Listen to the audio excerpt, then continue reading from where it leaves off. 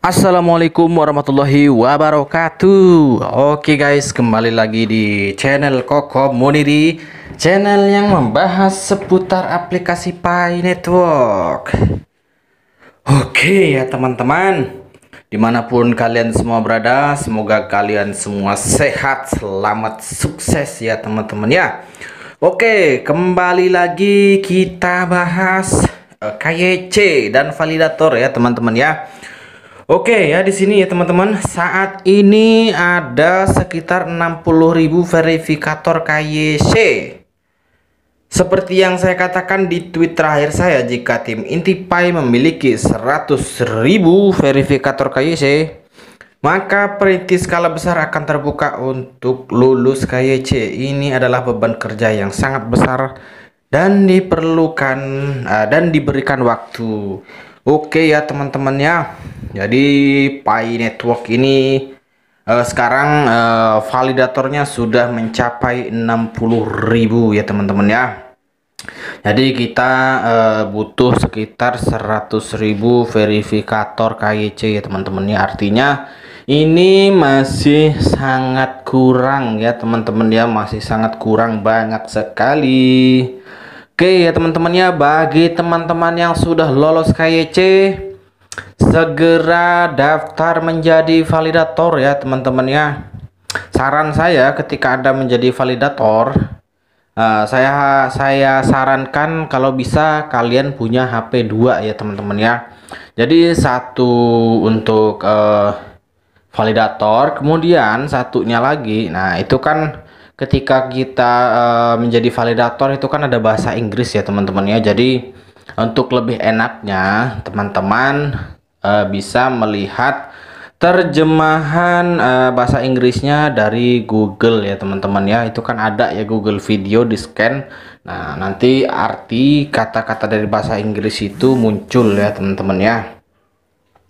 Oke nah ini juga ada himbauan ya teman-teman. Jadi ada informasi Pioner yang dipilih secara acak dapat menerima pemberitahuan pop-up setelah klik tanda petir untuk memulai proses KYC di aplikasi Pi browser menu KYC Pi. Karena permintaan yang tinggi, pioner yang mendapatkan undangan KYC harus segera melakukan proses dalam waktu 15 menit untuk memanfaatkan slot KYC. Jika lewat dari 15 menit, maka slot KYC akan diberikan kepada pioner lain. Untuk bersiap melakukan KYC, silahkan unduh aplikasi Pi Browser terlebih dahulu. Jika pioner melewatkan kesempatan ini, jangan khawatir. Akan dapat undangan KYC lagi. Semua pioner akan memiliki cukup waktu untuk melakukan KYC. Tidak ada pioner yang tertinggal dan semoga undangan KYC untuk pioner Indonesia sudah dalam bahasa Indonesia. Amin ya teman-teman ya. Oke, catatannya, kenapa KYC sementara diluncurkan secara random atau acak seperti arisan?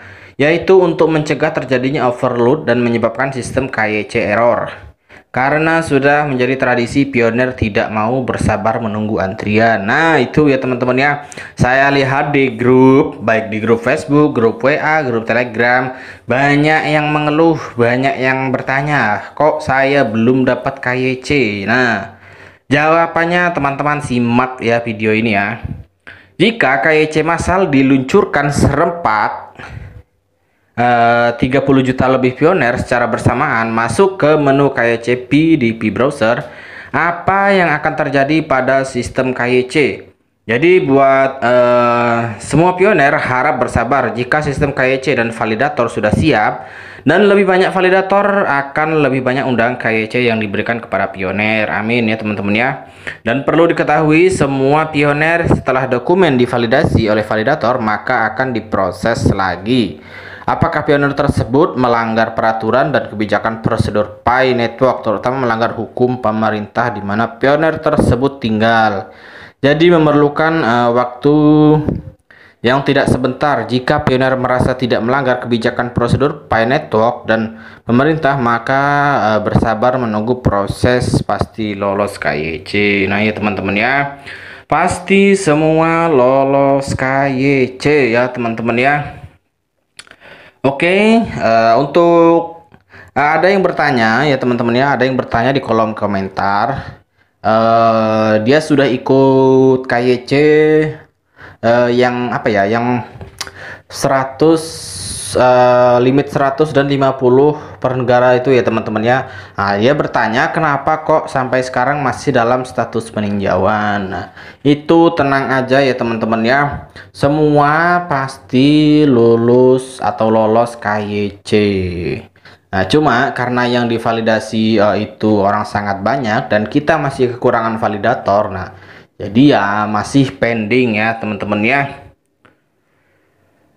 Yang penting bersabar, semua pasti lolos KYC. Oke ya teman-teman ya, semangat untuk kalian semua. Oke, sekian saja. Assalamualaikum warahmatullahi wabarakatuh.